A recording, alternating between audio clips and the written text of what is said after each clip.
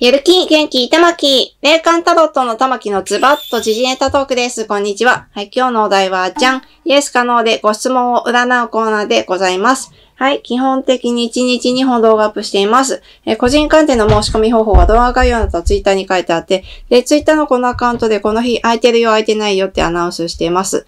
で、お知らせ4つあります。まず、オンラインサロン、玉木の人生向上委員会。えこれはですね、毎日、今日はこういう日だよとか、あの、1週間の運勢とかやってます。で、2つ目、えーズバットタロット。これ、丁寧に一枚一枚、夜鍋をして書きましてですね、意味も、あの、書きましたので、考えましたので、あの、その日から占っていきますよ。ず、あの、いただけます。ズバッと占います。はい。で、三つ目、え人生後半を学び合うオンラインサロンマチュール。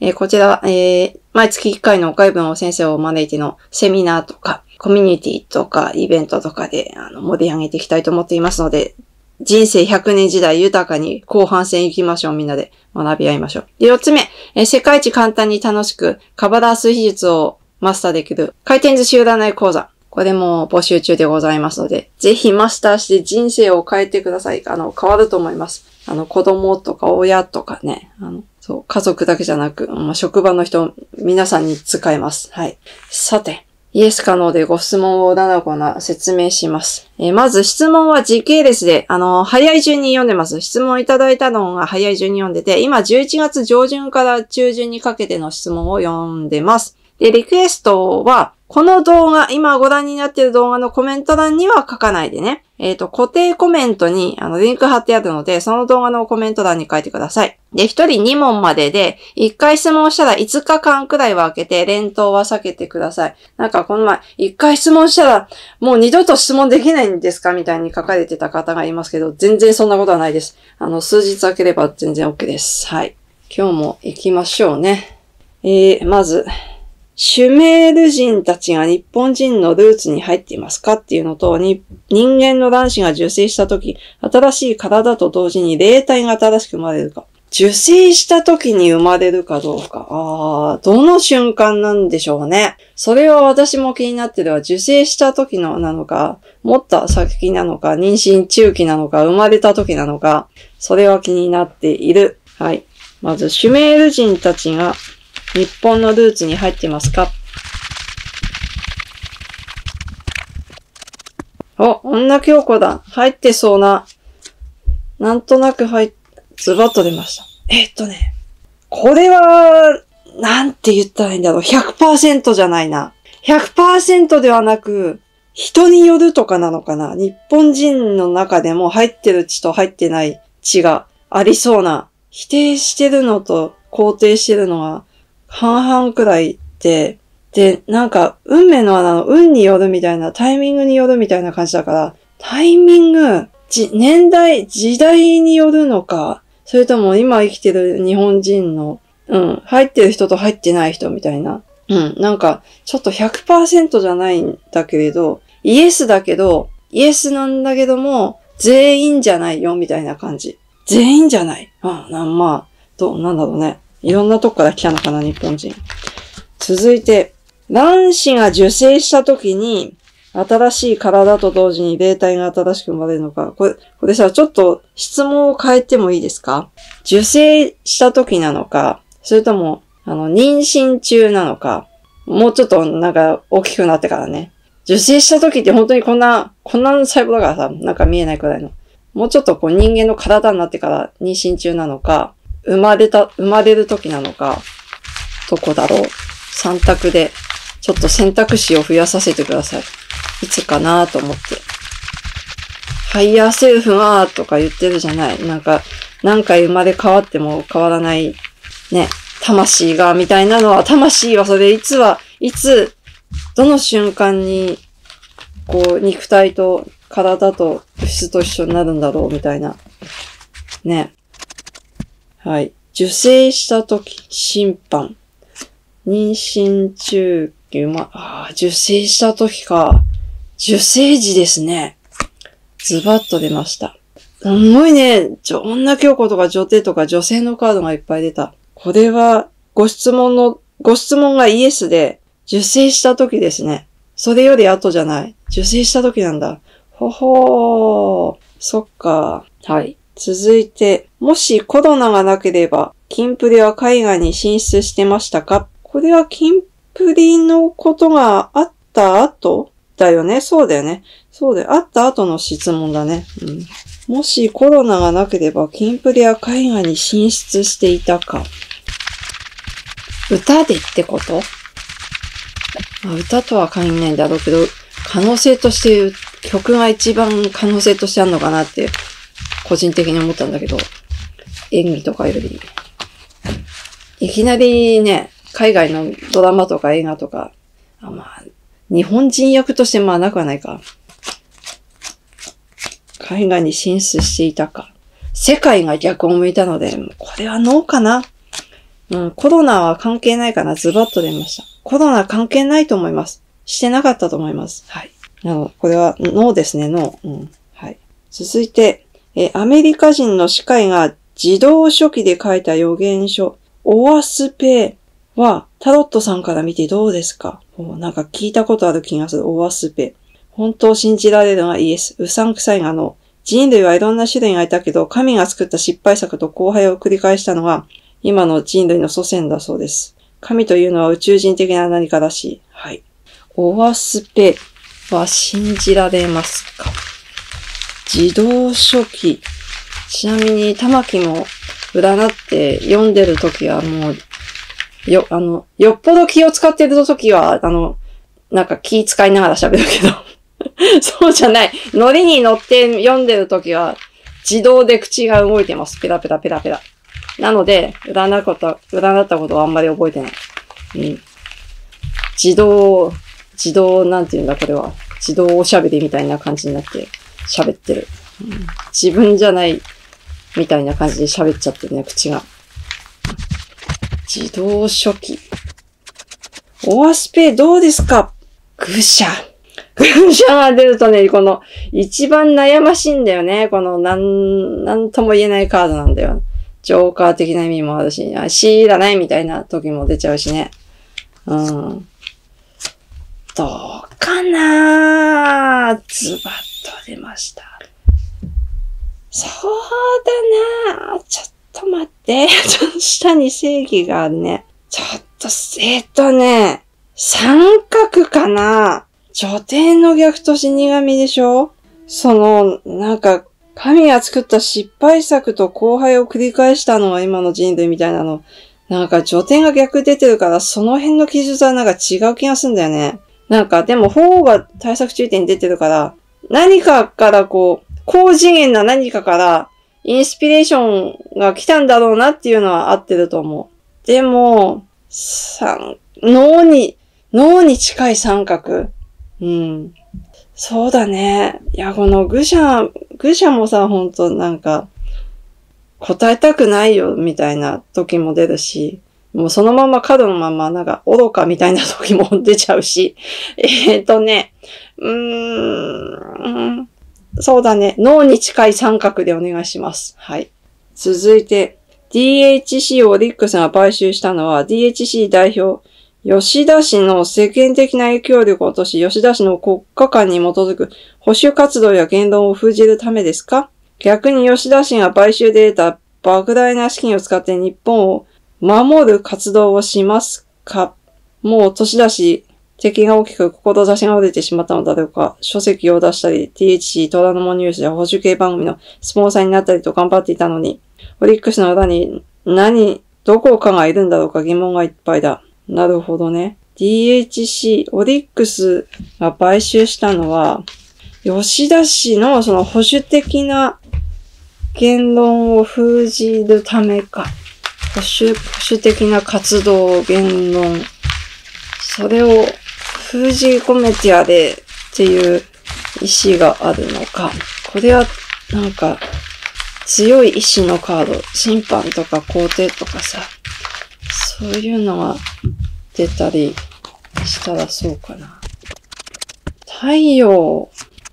皇帝はでも逆だね。えー、ズバッと出ます。待て待て待て。ちょっと待て。おっと、うーん。吉田氏の言論を封じようみ、いいんじゃのが、この辺は確かに気になるよ。気になるカードだけど。あー、あ、これでも両方かな。なんかもっと単純な、あの、経営的なさ、なんかがあると思う。うん。普通に、普通の買収する目的、なんだ。普通の目的って。うん。その2個目に出てさ、2個目に出た、吉田氏が買収データ莫大な資金。あ、これは、これは吉田氏が買収データ莫大な資金を使って日本マブの活動。これは吉田氏のやつだけど、何を言ってんだ だから、えっと、まず、オリックスが買収したのは、吉田さんがどうこうってだけじゃなくて、吉田さんの理由もなんだかのありそう。なんか封じ込めようは若干ありそうな気がするけど、それよりももっと大きな、経営的に、あの、買収して大きくなりたいみたいな、オリックスがね。オリックス自体がもっと成長したいみたいな、そっちが9割くらいじゃない？吉田さんはプラスアルファみたいな。まあ、おまけで吉田さんのその、を封じられたらまあ、いいかな、みたいな目的もありそうだけど、それより他の理由の方が大きそう。うん。普通に会社を大きくしたいな、みたいな。単、単純明快にね。うん。なのでこれどうしようか、イエスかノーかで言うと、封じるためは、確かにちょっとありそうなのよ。なんかね、皇帝が逆向いたり、忍者のが逆向いたりしてるから。イエスだけど、その理由はほんの小さなことっていうか、うん、おまけみたいなもんで、メインはそっちじゃない感じがする。で、質問2個目。吉田さんは買収データ、莫大な資金を使って日本を守る活動をこれからしてくれるのか。DHC。虎ノ門ニュースがね、いきなり弱ったみたいな。まあね、へーって。ズバッと出ました。あー。あ、むしろ、もっとやりやすくなるかもね。2番目はイエスです。日本、うん、あの、日本を守る活動に、あの、発信する活動は積極的にしていくと思う。今まで会社っていうね、鎖があったけど、それが解けて、もっとやりやすくなると思う。なので、これは強くイエスですね、多分。莫大な資金を得てかどうかわかんないけど、まあ、得てるか。うん、とりあえず、すごい積極的に、今まで以上に積極的にやっていこうみたいなのはあり、見えました。はい、イエスで。続いて、1、現在の人類は地表のちょっと上のあたりに行っただけで、宇宙だ、宇宙だ、と無邪気に喜んでます。確かにね。ちょっと上に行っただけでね、そうだね。大気圏外に出ましたぐらいで喜ぶ。そうだね。実は今から50年以上もの大昔に、人類はすでに月面に到達してたという月面都市の伝説は事実なんでしょうかで、2、地球は球体でなく、実は平面である地球平面説というものがありますが、事実です。地球平面説はね、もう占ったんだ。なんか2回くらい占ったことがあって、球体だよって言ってるので、そう。ちょっとどの動画だかわかんないのと、あと、オンラインサロンでも占ったことが、あれなかったっけ？なと、とにかくなんか、2は、2はごめんなさい。もうすでに2回くらい占ってて、平面じゃないってうん、これは強く覚えてるので、占ってるので、ちょっと2はごめんなさいです。球体でお願いします。な、1を占いますね。50年も大昔に常に月面に到達していたという月面都市、と月面都市の伝説。本当か？これは明るいカードが出たら本当かな？ズバッと出ました。女教皇が逆を向いたね。ここに月があるけどね。月を、月を持った女教皇が逆を向いてるから。まあ、ノーかな。でも、この辺の下のカードが、イエス、あの、なんだ、肯定してる、ね、ポジティブなカード。し、あの、なんだろう、恥じゃないけど、静かなポジティブなカードがあるから。まあ、何らかのこう、行きたいな、みたいな計画はあったでしょうね。50年前も。計画したり、なんだ、かんだ。してたかもしれないけど、失敗してるか、言ってないか、技術不足とかね、マジシャンが出てるので、言ってないかなノーで、ノーで一番ノーでお願いします。はい。続いて、えーとね、いっぱい来ちゃったけど、いっか。一人で4問来ちゃったけど、いっか。えっとね、まず、えー、キンプリの3人が脱退後、テレビ局やメディアが事務所に忖度して露出が減りますか脱退後、3人が脱退後だから、2人 ?2 人になってから露出が減るかってことじゃなくて 待って、3人か。残った2人じゃなくって、あの、出てった3人の露出が減るかね。それは減るんじゃないかなって思うんだけど、占い関係なく。へ減るんじゃないかな。なんか、テレビ局もとかも使いづらくない？なんか、忖度すると思うな。脱退した3人が脱退した後に露出が減るか。そうだね。だって、そのテレビ局の社員になった気持ちになればいいんだよ。うん。多分ね、すると思うよ。うん。する、するだろうな。えー、っと、マジシャンの逆。そうだよね。うん。それは、それは、お、あの、へ、ズバッと出ました。むちゃ、むちゃくそ減るです。減りますか？イエスで。もう、イエス10個くらいつけたいくらいもう、そうね、いつ出れるかな、みたいな感じよ。うん。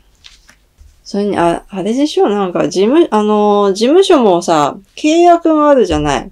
事務所移るときとか、辞める、あ、移るときか。辞めるときはわかんないけど、移るときもさ、事務所、芸能事務所って、例えば半年とか1年は他の事務所に移籍しませんとか、辞めた後とか、なんか映像のなんか権利とかもあるしさ、うるさいんだよね、あの辺の契約って。そうなんですよ。なので、まあ、ジャニーズじゃなくても、事務所移るとか辞めるとか、普通に減ると思う。それはジャニーズに限らないと思う。うん。で、2番目、岸君は脱退から退所まで数ヶ月あるのですが、その間、テレビやメディアの露出は今まで通りありますか？岸君のね、新しいドラマ、なんだっけ？ワンワンワンワン大好きじゃなくて、なんだっけ？昨日、ツイッターでちょうどさ、あの、新しいそのドラマの、ね、歌とさ、こんなドラマだよみたいな映像を見てさ、うん。うん。犬かみたいな。犬のドラマかみたいなね、うん、見てましたけど。露出は今まで通りありますか？岸くん。これは、ズバッと出ました。ああ、下に恐ろしい顔が出たね、なんか。あの、表向き、表面上は出てる風に見えると思うけど、だからテレビとか、とあの、あの一般的にこの我々がさ、見るやつ、テレビとか、そういうのは減らさないと思う。あ、岸くんが今まで通り出てるっていうくらい、露出みたいなのは同じまま行くと思う。でも、見えない部分の仕事も多分いろいろあると思うのよ。そういうのは減らされそう。だから、我々一般人は普通に、あ、変わらずに出ててよかった、安心したって思ってるけど、裏では、うん、めちゃめちゃなんかえげつなくこう仕事が減らされてるみたいな、見えない部分のね。まあでも、まあそうだね。まあ普通の会社員だと思えばさ、3ヶ月後がない半年後辞めますって言ってる人、引き継ぎもあるし、だんだん仕事も減るよね。まあね、そうだ、そうだよね。あの、辞めるその日までマックスにやるかっていうと、まあ、そうでもないか。うん。まあ、いろいろ、それは、そうだよ。そのタレントさんと、その使う側の立場にもなると、まあまあ、普通にそうなるかなって、わかんないけど。両方の側面から見てほしいですよね。あの、皆さんも、ファンの人も、あの、そう、ジャニーズの立場だったら、そう、どう、どうかなとか。いや、ジャニーズの立場なんかになりたくないって思うかもしれないけど、うん、いろんな側面から物事を見るとね、うん、まあ、減るっていうのは、うん、まあ、普通のことかもしれない。辞める、辞めますって言った人に対して、仕事はまあ、どうなんだろうね。維持、よく、うん、そうね。なので、これは、露出は今まで通りやります。イエス。うん。露出は今まで通り普通にあって、なので我々は気づかない。ああ普通に出てるじゃんって思うけど、裏では多分な何かいろいろごっそり減ってると思う。仕事が。はい、続いて。あ、岸くんスペシャルなんだね。じゃあちょっとあの、時間がね、あの、一本分になったので、ここで一回中断して、次回持ち越します。岸くんスペシャル。はい。いきます。たまき、じゃんけん、じゃんけんぽい。グーなので、パーの人の勝ちだよ。じゃあね、バイバイありがとうございます。